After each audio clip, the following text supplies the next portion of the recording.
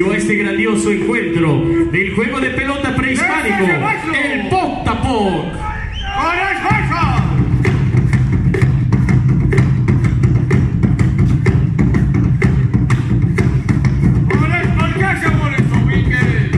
El juego de pelota maya es la representación de dos fuerzas antagónicas. Es considerado como la lucha de los contrarios. Es el juego entre el día y la noche, calor y el frío,